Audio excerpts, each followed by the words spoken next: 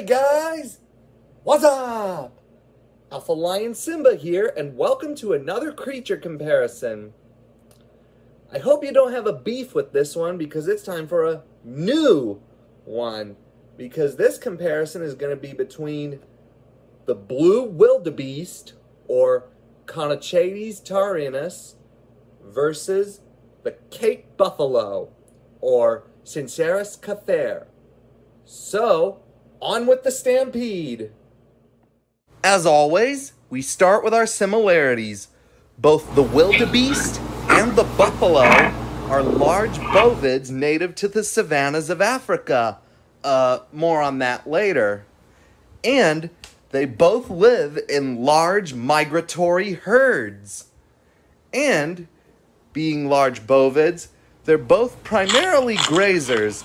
In the wild, they eat grass, herbs, and other ground plants. And, as previously stated, both wildebeest herds and buffalo herds are migratory. When the dry season comes, the herds of both species partake on epic migrations to find greener pastures. And the wildebeest migration in the Serengeti is particularly impressive to watch.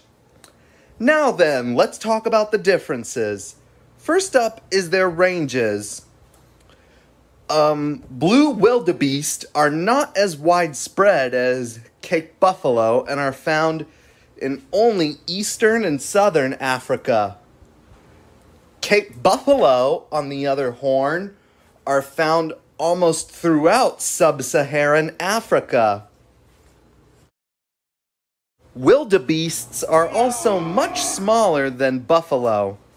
A fully grown blue wildebeest reaches 8 feet in length and stands 4.5 feet tall at the shoulders and weighs up to 600 pounds. By contrast, a fully grown Cape buffalo weighs 250 to 900 kilograms or 551 to 1984 pounds, and they are 220 to 450 centimeters or 87 to 177 inches long. Also, Cape buffalo have one major feature with their horns